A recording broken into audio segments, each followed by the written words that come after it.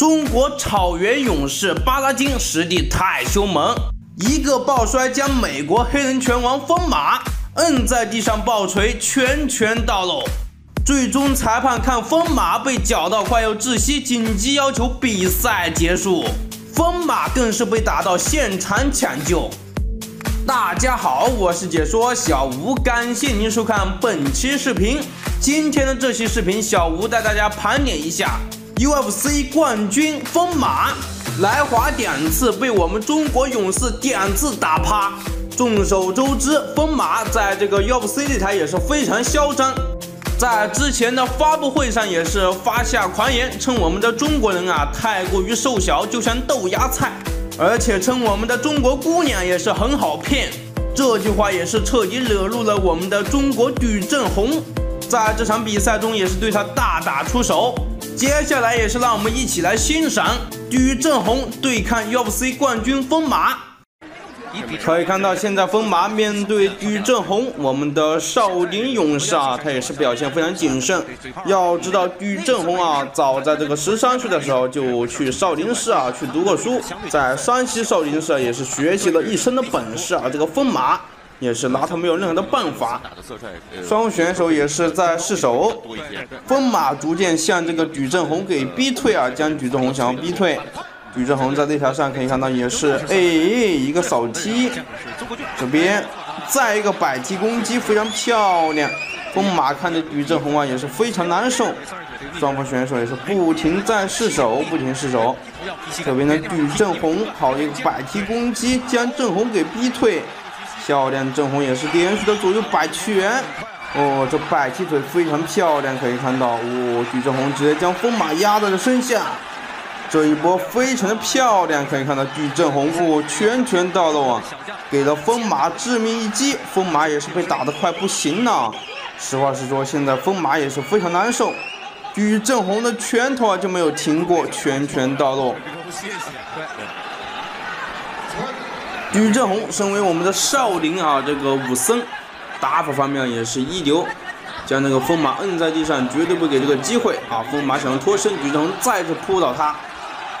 我每一拳都是砸中那个要害部位，可以看到正红啊，这个打法太凶了，太凶了。这场比赛也是将风马直接打到要窒息。这场比赛最后呀，风马的腿也是被举正宏给打断了，这也是他第一次啊在中国吃了大亏。接下来也是让我们来盘点一下风马的第二场比赛。没错，第二场比赛就是我们的巴拉金。他在赛前可以看到也是发现狂言，之前啊他的这个骨头也是好了之后又来华嚣张，在擂台上也是呜呜喳喳啊炫耀自己的肌肉啊，非常的嚣张，非常的狂妄。不得不说，这位 UFC 冠军啊也是非常的狂，而他的挑战对手也是我们中国的草原勇士巴拉金，草原的雄鹰，可以看到也是非常的帅。因为这个疯马在赛前也是发下狂言，称我们的中国勇士啊太瘦弱，所以巴拉金必须要教育他。双方选手也是被召集在他中间。好的，裁判让双方选手各回各家，各找各妈，退到一边。查尔斯秀他的肌肉，哎。此时的巴拉金也是正值巅峰时期，场内的这个裁判啊也是为这个疯马捏了把汗。虽说你在 UFC 轻量级无敌，但是在中国的擂台可真不是开玩笑。比赛开打，可以看到巴拉金将疯马也是压在角落里面啊，折磨他，直接抱起一个背摔啊。要知道巴拉金他更善于这个地面砸击，因为他身为草原勇士，也是更擅长这个摔跤。此时的这个风马也是被巴拉金摁在身下，哦，可以看到风马也是非常难受，双方选手抱在一起僵持不下，风马他也是极其想要挣脱，不过我们的巴拉金身为草原勇士啊，岂会让他轻易挣脱？也是使劲裸脚住他，非常的漂亮，不愧是我们的中国草原勇士。双方选手的打法是非常出色的，可以看到巴拉金他的地面着击更是非常的凶猛，非常的强。此时他也是叫天天不灵，叫地地不应啊。至少这个经验啊，完全是锁在了一块，完全锁在一块。哎呦，重拳砸头。此时的巴拉金啊，也是一把摁住了风马，风马也是找不到这个反击的机会。反正双方选手也是死死的压在一块。在这场比赛中可以看到，风马也是积极想要挣脱，不过巴拉金这个拳头就没有停过啊，非常的凶残，每一拳都砸中头部。对。哦，巴拉金可以看到也是被重拳砸头，非常难受。对，还还玩自拍，还穿好几条裤。呵呵，可以看到这个风马在擂台上也是被这个评委爆掉。故意拉长。对，吸引眼球。呃，对。双方选手确实打的是比较狠，一直很长时间，摁在地上折磨他，摁在地上折磨他。目前来说，虽然在上位，但没占什么优势。没占什么优势。对。对手就像个泥鳅一样啊，拱来拱去，拱去拱来，反正始终让你打也打不着。对手就像一个泥鳅一样，这个比喻非常出色。有侧面压制，他这个打法啊，可能也意识到。从这个侧面啊压制就可以看出啊，双方选手确实厉害，非常的勇猛。他其实每个防守都做到位了，他就不发力了。对。这反手确实做的非常到位啊！可以看到，哦，也是被压制住了，压在身下，连续重拳。哦，这拳法如风啊，砸中他的头。双方选手确实是非常的狠。巴拉金也是跟这个风马较劲啊，双方选手完全是抱在一块折磨。对。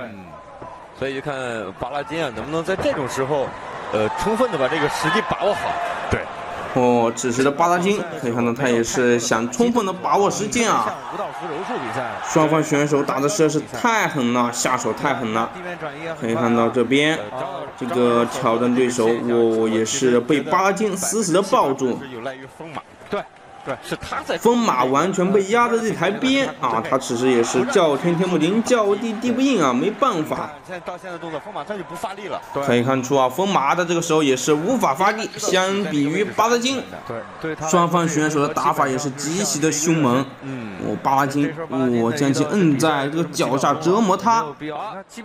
摁在地上暴锤啊！摁在地上暴锤，拳拳到肉。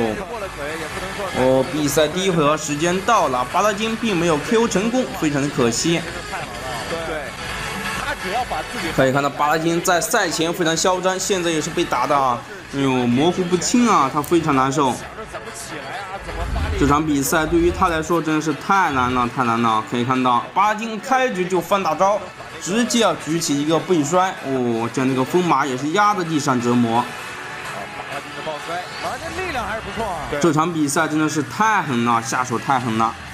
两次这种抱摔啊，对，摁在地上抱摔，直接砸头。对，你看这个。现在我们来看一下比赛第二回合，巴拉金也是啊，将风马再次压在了身下。啊，巴拉金啊，到了。哦，我的天，摁在地上连续的砸拳，拳拳到肉。可以看到巴拉金的这个拳头啊就没有停过啊。送了这么一个位置，哎，巴拉金有了罗脚。哦，我的天，巴拉金完全是压制住了风马。手的位置比较深。呃，但是这个位置做可以看到，现在风马已经是被打的不成样子了。他现在是倒在地上，我直接昏迷了。巴拉金可以看到，我这呐喊一声奥迪给，这场比赛赢的实在是太容易了，太帅了呀！巴拉金，身为我们的中国勇士，直接将这个侮辱我们中国女性啊，侮辱我们中国选手的风马打到现场昏迷。可以看到比赛的回放。巴拉金直接将风马压在身下折磨他，摁在地上，绝对不给对手任何反击的机会，真的是非常的狠啊！理论上来说，确实。实话实说，巴拉金的这个实力啊，已经是将风马教育的，哎呦，五体投地，非常的毒辣。巴拉金可以看到实力是真的凶，要不是风马自己要拍手投降，我估计巴拉金啊。会将他打到现场抢救，现在他就已经是昏厥不醒了。好，接下来我宣读一下。好，接下来也是让裁判宣布这个比赛结果。中国选手巴拉金，第二回合五十九秒降服获胜。所以说的比赛冠军是草原巴拉金，那我们恭喜他。这是莫拉莱斯与巴雷拉的赛前发布会，二人是话不投机半句多，能动手从来不吵吵，能打组合从来不点刺，可以说两人的梁子就此结下。音乐走起，这是一场发生在两千年的拳王争霸战，三十五战全胜的 WBC 拳王莫拉莱斯迎战瓦脸刺客安东尼奥巴雷拉。这个俗话说得好，一山不容二虎，除非是一公一母。虽然两位都是墨西哥同胞，但双方是你看我也不爽，我瞅你也不得劲儿，所以必须要一决雌雄。a good right hand. 在这个当年呢，巴雷拉二十六岁，莫拉莱斯二十三岁，可以说两人都处在职业生涯的黄金年龄，并且年轻气盛，所以这个开局双方是你来我往，场面是相当惨烈，可以说是高潮迭起，一波又一波，杀的是昏天暗地，冰火两重天呐。两人仿佛是不知疲倦的进攻机器，火力不间断的疯狂输出，场面是极其的焦灼。随着比赛深入，巴雷拉再次加强了进攻，左拳夸夸就来了一波，打的莫拉莱斯也是栽栽愣愣，巴雷拉是迅速跟进，开始展开前攻。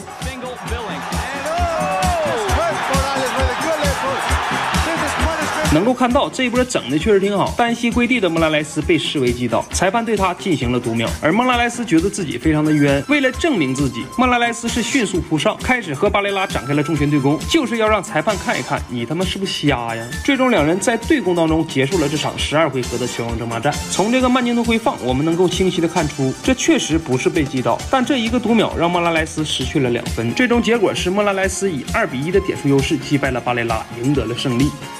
Practice on a north Tijuana, Mexico.